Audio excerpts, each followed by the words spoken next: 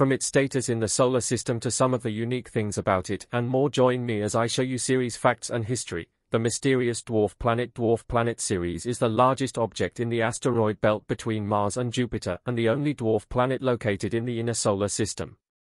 It was the first member of the asteroid belt to be discovered when Giuseppe Piazzi spotted it in 1801. And when Dawn arrived in 2015 it became the first dwarf planet to receive a visit from a spacecraft called an asteroid for many years Ceres is so much bigger and so different from its rocky neighbors that scientists classified it as a dwarf planet in 2006. Even though Ceres comprises 25% of the asteroid belt's total mass tiny Pluto is still 14 times more massive. If you wanted to compare it to the Earth think of it like this, if the Earth was a nickel Ceres would be a poppy seed in comparison. The finding of Ceres is a bit more in-depth than we teased in the last entry, so here's a bit of a deeper look at its finding. Johann Elert Bode first suggested that an undiscovered planet could exist between the orbits of Mars and Jupiter in 1772. Kepler had already noticed the gap between Mars and Jupiter in 1596. Bode observed that there was a regular pattern in the size of the orbits of known planets and that the pattern was marred only by the large gap between Mars and Jupiter. A curious finding indeed. The pattern predicted that the missing planet ought to have an orbit with a radius near 2.8 astronomical units, AU. William Herschel's discovery of Uranus in 1781 near the predicted distance for the next body beyond Saturn increased faith in Bode's beliefs and in 1800 a group headed by Franz Xaver von Zach editor of the Monatliche Korrespondenz sent requests to 24 experienced astronomers, whom he dubbed the Celestial Police, asking that they combine their efforts and begin a methodical search for the expected planet. Although they did not discover Ceres they later found several large asteroids. But this wasn't the end this was just the beginning. One of the astronomers selected for the search was Giuseppe Piazzi a Catholic priest at the Academy of Palermo Sicily. Before receiving his invitation to join the group Piazzi discovered Ceres in January 1801. Though he didn't know it at the time. Rather he thought it was a comet and apparently found Ceres 24 times eventually he sent his finding to his colleagues and by the end of 1801 they had tracked down Ceres and were able to further document its movements. But was it a dwarf planet right then and there? Nope.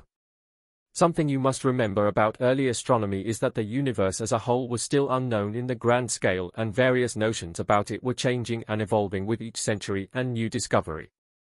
The categorization of Ceres has changed more than once and has been the subject of some disagreement over the years and decades since its finding. Johann Elert Bode believed Ceres to be the missing planet he had proposed to exist between Mars and Jupiter at a distance of 419 million kilometers, 2 Australian dollars and 80 cents, from the Sun Ceres was assigned a planetary symbol and remained listed as a planet in astronomy books and tables, along with 2 Pallas 3 Juno and 4 Vesta, for half a century. As other objects were discovered in the neighborhood of Ceres it was realized that Ceres represented the first of a new class of objects. In 1802 with the discovery of two Pallas William Herschel coined the term asteroid, star-like, for these bodies writing that they resemble small stars so much as hardly to be distinguished from them even by very good telescopes.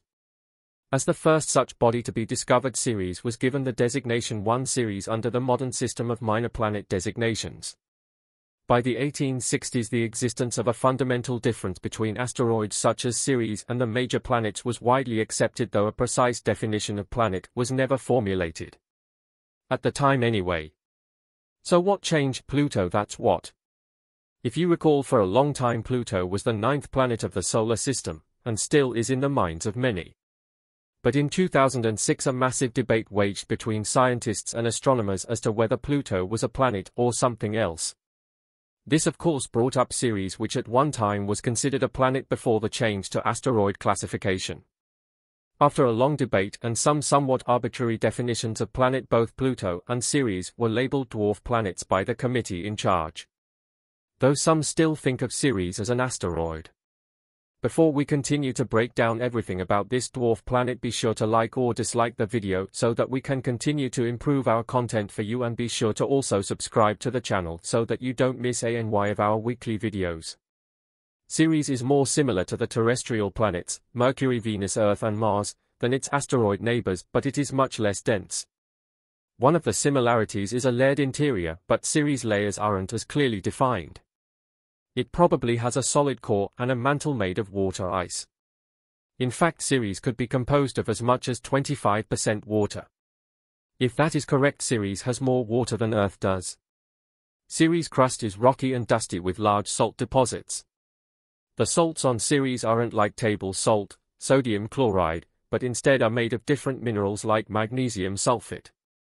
As for the surface it is covered in countless small young craters but none are larger than 175 miles, 280 kilometers, in diameter. This is surprising given that the dwarf planet must have been hit by numerous large asteroids during its 4.5 billion year lifetime. The lack of craters might be due to layers of ice just below the surface. The surface features could smooth out over time if ice or another lower density material such as salt is just below the surface. It's also possible that past hydrothermal activity such as ice volcanoes erased some large craters. Within some of Ceres' craters there are regions that are always in shadow. It's possible that without direct sunlight these cold traps could have water ice in them for long periods of time. Ceres takes 1682 Earth days or 4.6 Earth years to make one trip around the Sun. As Ceres orbits the Sun it completes one rotation every 9 hours making its day length one of the shortest in the Solar System. It's not the shortest that would be another dwarf planet near Neptune called Haumea but still that's a day that's basically one-third of what we have here on Earth. Ceres' axis of rotation is tilted just 4 degrees with respect to the plane of its orbit around the Sun. That means it spins nearly perfectly upright and doesn't experience seasons like other more tilted planets do which combined with the lack of an atmosphere, as far as scientists can tell, means that it's not the most habitable of planets, regular or dwarf, out there. But it still holds a big place in our culture believe it or not. The largest body in the asteroid belt Ceres has amassed a number of references in science fiction stories of the 20th and 21st centuries. In the TV series The Expanse Ceres is inhabited by humans and in the PC game Descent one of the secret levels takes place on Ceres in the video game Destiny Ceres was colonized by an alien race called the Fallen at the end of humanity's golden age. Ceres was later destroyed by a civilization of post-humans who inhabit the asteroid belt. Believe it or not though Ceres has ties to something that many of you consume every single day. Ceres is named for the Roman goddess of corn and harvests. The word cereal comes from the same name. Ceres formed along with the rest of the Solar System about 4.5 billion years ago when gravity pulled swirling gas and dust in to become a small dwarf planet. Scientists describe Ceres as an embryonic planet, which means it started to form but didn't quite finish. Nearby Jupiter's strong gravity prevented it from becoming a fully formed planet. About 4 billion years ago, Ceres settled into its current location among the leftover pieces of planetary formation in the asteroid belt between Mars and Jupiter. It almost makes you wonder what could have been if Jupiter had been just a little bit farther away, or a bit smaller in size, and thus wouldn't have exerted its gravity on Ceres. What kind of planet would it have been if it was fully grown? Would it have been our fifth planet instead of Jupiter? Well, never know, but the questions are intriguing. Despite us knowing a lot about Ceres, the fact of the matter is that pretty much everything we've found out about the dwarf planet has been made at ground level. Not for lack of trying to get there with something else, mind you. In 1981 a proposal for an asteroid mission was submitted to the European Space Agency, ESA. Named the Asteroidal Gravity Optical and Radar Analysis, AGORA, this spacecraft was to launch sometime in 1990 to 1994 and perform two flybys of large asteroids.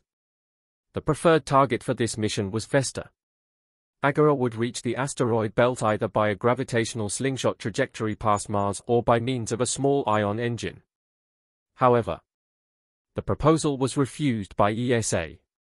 Future projects were proposed by or drawn up for NASA the ESA and even the Soviet Union but none have been approved or taken place in anything outside of concept. Ceres is one of the few places in our solar system where scientists would like to search for possible signs of life. It has something a lot of other planets don't, water. Here on Earth water is essential for life so it's possible that with this ingredient and a few other conditions met life could maybe exist there. Living things on Ceres if they are there at all would likely be very small microbes similar to bacteria. And while Ceres might not have living things today, there could be signs it harbored life in the past. If the solar system has shown us anything in the recent past it's that we don't know as much as we think we do about certain things in our solar system. So even if there's only a slim chance that there could be the possibility of life on Ceres big or small it's worth checking out. Now granted getting to Ceres right now isn't the easiest of things. But if we were able to breach that gap and study it that could be potentially life-changing.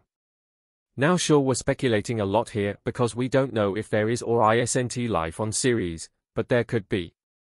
An isn't that enough of a reason to at least go and try to find life on it seems logical to us. But why stop there what if we could do more? As you all know or at least hopefully know our goal for this current decade is to go and reach Mars.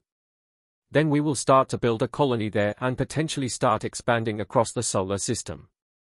What does this have to do with Ceres Simple where is it located in the asteroid belt between Mars and Jupiter right well when it comes to space travel everyone thinks that we need to just shoot for the end goal but that's not true. Or at least not in certain circumstances. We're aiming for Mars because of various factors including it's our neighbor it has water and we feel that we can live there. As well as the fact that it is a gateway to the back half of the solar system. But just trying to jump from Mars to Jupiter could be fraught with problems. So what if we had stop in between yeah what if Ceres could become like a waypoint station for us to use to help ensure that we got to Jupiter and beyond it may sound like more work but given the state of our technology right now and how we're handling things on the space front having a buffer zone and an extra place to stop if you will could be huge. And many are already thinking of putting similar stations on moons like Titan Europa and maybe more. It would help open things up and that would be a godsend for future missions. Plus as time goes on we could send out multiple ships to multiple parts of the solar system based on where the dwarf planet is in its rotation. Which would be a good place to launch probes and satellites as well to further explore things. Which of course brings us to the asteroid belt that Ceres resides in.